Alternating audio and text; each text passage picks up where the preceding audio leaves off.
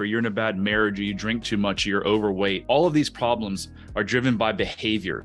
Those behaviors are all driven by thinking. Every single problem that you have in your life right now starts with a thought.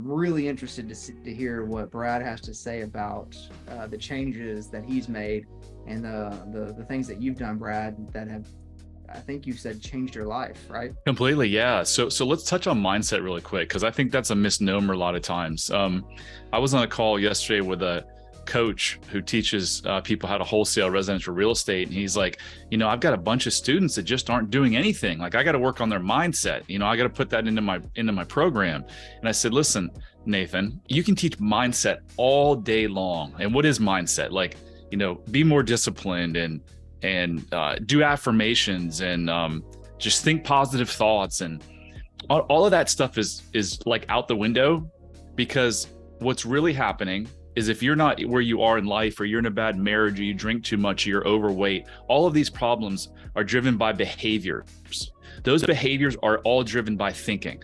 So every single problem that you have in your life right now starts with a thought. Those thoughts are subconscious thoughts that were programmed from the third trimester when you're in your mother's womb till 8, 9, 10, 11 years old. They were programmed as a result of experiences that you went through in your life, mostly stressful, mostly when you didn't have control, you know i'm trying not to word the, use the word trauma because it turns a lot of people off because they're like well i didn't have trauma and i'm like uh, yeah you did.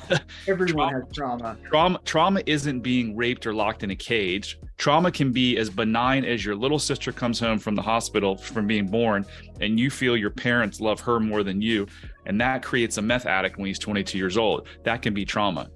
Mm-hmm. so these thoughts our our our brain's programming of a coping mechanism to get through that stressful situation. Your beautiful brain is doing exactly what it should. You're 6 years old, something bad happens to a 6-year-old. What does a 6-year-old say to get through it? I must be bad. That's what I said when my dad would hit me. I must be bad. Something's wrong with me. So that was actually helpful. It helped me process and get through that when he hit me. At 47 years old, when my subconscious brain is still telling me I'm bad, it doesn't serve me.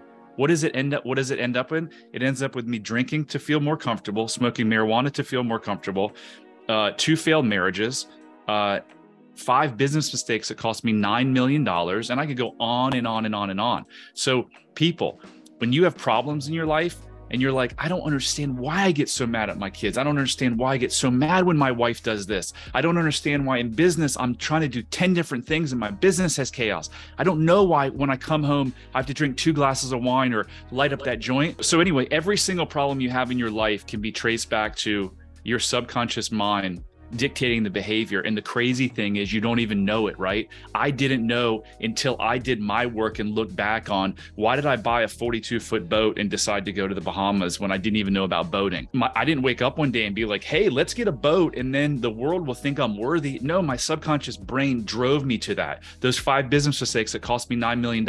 I didn't wake up and say, I'm going to do this. So if you're struggling in life you've got to go back and look at what happened to you when you when your brain was programmed. And and you can change everything because guess what? You weren't born an alcoholic. You weren't born someone with depression. You weren't born someone with, with anxiety. You formed those things. They were learned behavior. And if you learned them guess what? You can unlearn them